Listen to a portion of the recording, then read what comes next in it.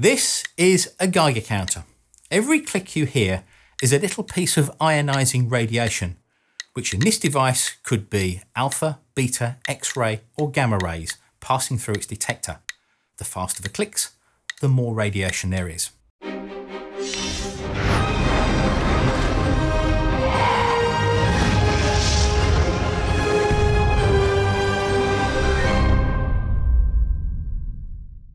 Ionizing radiation is of particular interest because unlike lower power electromagnetic radiation like visible light, microwaves and radio waves, it can slam into atoms with enough energy to knock off electrons or break the atoms apart, creating new secondary radiation in the process.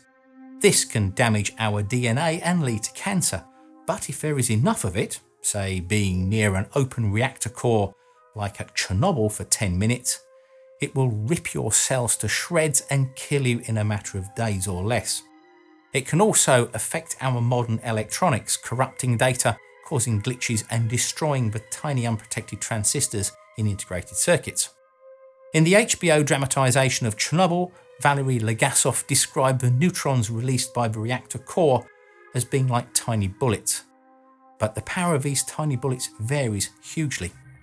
A simple analogy would be that if the weakest particles were like an airsoft gun pellet, then the most powerful would be trillions of times more powerful than the biggest electromagnetic railgun projectile.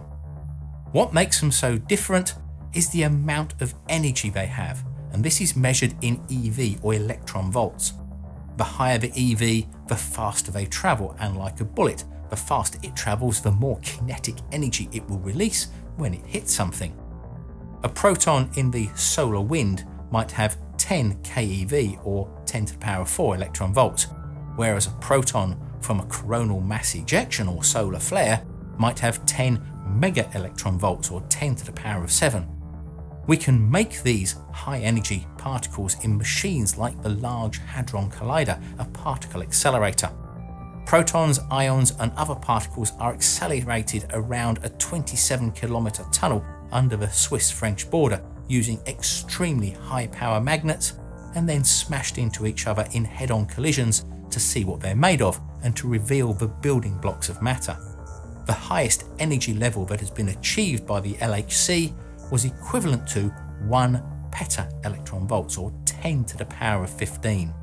But out there in the universe, somewhere, there are particles that have been accelerated to plainly incredible speeds by something that is far more powerful than the biggest supernova. Bearing in mind that these are most likely protons and possibly ions, in other words, parts of a nuclei of atoms and the same stuff that we are made out of, and that have mass and that are not massless photons that travel at the speed of light, then the speed that they are travelling at is truly astonishing. When the first one was detected in 1991 by the Fly's Eye detector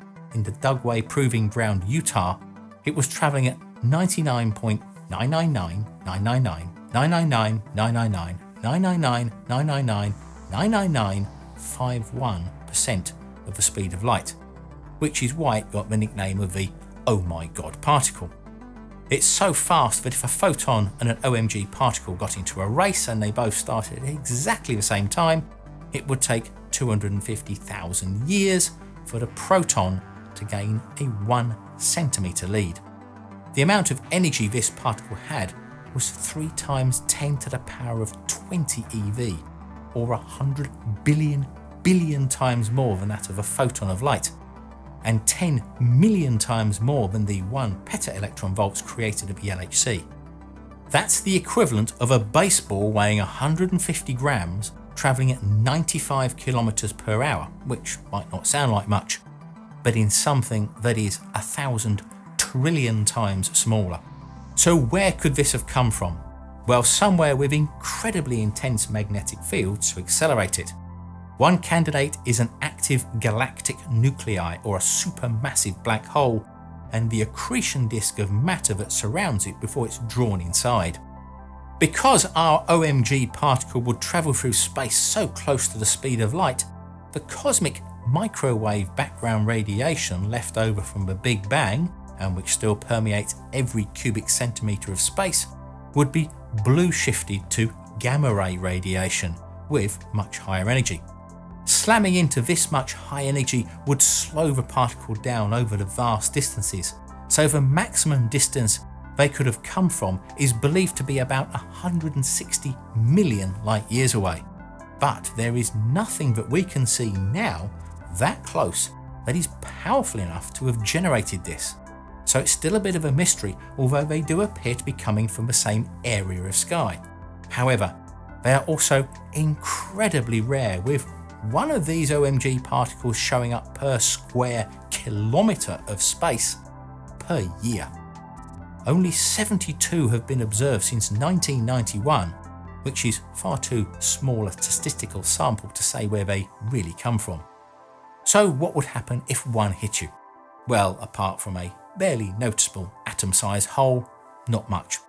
But you would be showered in secondary radiation from all the atoms it interacted with on its way towards you, and then the same again with all the atoms it interacted with inside you as it went through, which incidentally is the same method used to irradiate tumours in the body, but without an OMG particle. So thanks for watching and don't forget to check out some of our other videos if you get the time and please subscribe, thumbs up and share.